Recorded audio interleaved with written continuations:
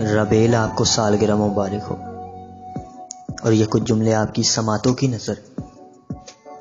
कि जाने उस शख्स को कैसा ये हुनर आता है।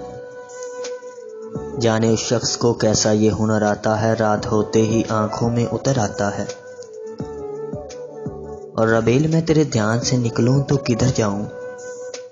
तू मेरी सोच के हर रास्ते पे नज़र आता है।